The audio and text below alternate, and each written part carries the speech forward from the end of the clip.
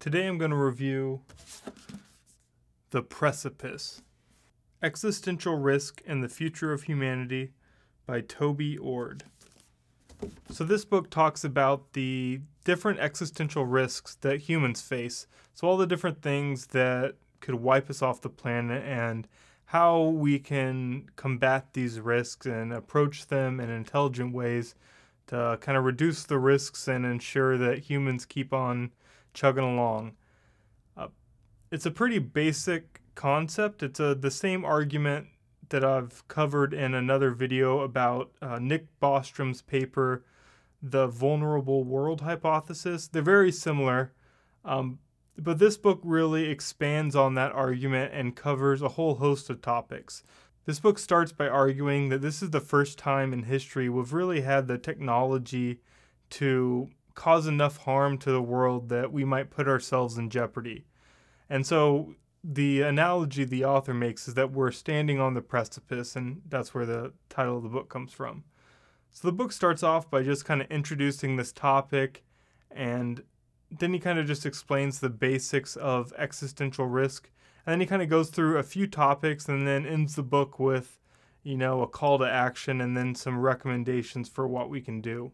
Um, for me, reading this book, I felt it was kind of tedious, which is an odd way to describe this book because it's such a like heavy topic. You'd think that would be captivating in of itself, but there was kind of this problem with the book in that the various risks that humans face are extremely complex. So, if you think about something like ecological collapse, where the environment goes in a downward spiral and we just can't recover from it, uh, covering that topic and explaining it fully would really require like multiple books, you know, thousands of pages and world class experts. So you would think in a book like this, where you're covering a lot of different risks and like this abstract argument, you wouldn't spend too much time in the details of those types of arguments because there's really no possible way you could cover them completely and make a, a full you know rational argument. You could only like briefly cover like the basics. So i would expect that in this type of book the author would stick to like the abstract argument and then just kind of dive into the details to make a few poignant uh, examples or, or points. Instead the author goes into details and then he spends a lot of time just going through various uh, different types of risks and the attributes of those risks. And I found this to be a little tedious because the thing that's interesting about the argument here is the abstract argument. You know, it's, it's the trying to get across the point that there are existential risks that humans face. And I would expect the book to really focus on that argument and try to drive that home at every turn. Instead, this book uh, kind of just goes from that basic abstract argument, then veers into details and spends the majority of the book in details. And then at the very end, he pops back out and gets back to the abstract argument. And the book really lost me in the middle because it was too detailed for the abstract argument, but it wasn't detailed enough to really be convincing in any way. So it was kind of in this middle ground that didn't really serve a purpose. And that kind of annoyed me a little bit because I read Nick Bostrom's paper, The Vulnerable World Hypothesis. I also made a video on it. And that book kind of talks about just the existential risk from technology. But in that paper, it's it's only like 16 pages, and Nick Bostrom sticks to the abstract argument. And in that condensed version, it was really poignant and uh, impactful. Like it really resonated with me, and it made me interested in this topic. That's why I picked this book up when I saw it came out so this book didn't really expand on what I found interesting in Nick Bostrom's article. So I think it it really kind of failed to uh, resonate with me in the same way that Nick Bostrom's work did.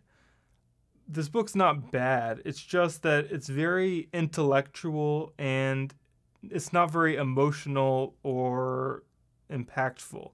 You know, it kind of takes a very philosophical look at the argument but then it veers into details and just stays there for a while.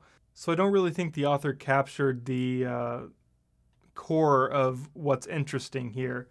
he kind of focuses on individual trees when it's the forest that's interesting.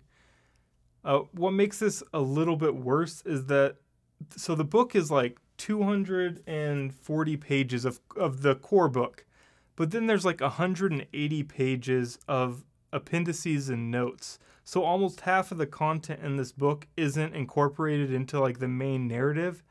And when I listen to the audiobook, that extra 180 pages isn't even talked about.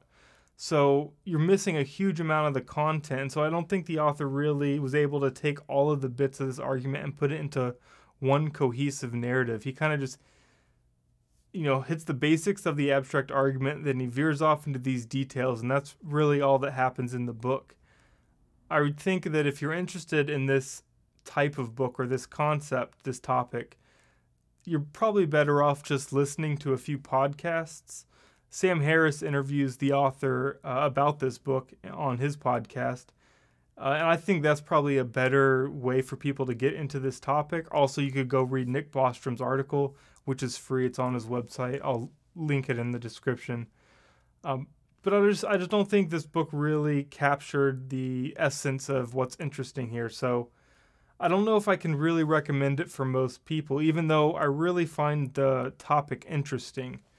Um, though, if you're a really hardcore reader and you burn through a lot of books, you'll probably burn through this book with no problem, and the tedious bits won't really bother you. Um, but if you're kind of the average reader and you only read a, a, handful of books a year, I don't think this book hits the quality level necessary to kind of rise above the fray of all the other available books. There's a lot of good stuff out there, and I don't think this book really is good enough to warrant most people reading it. I think everyone's, uh, most people are better off just listening to a few podcasts because that'll really get the core of his argument.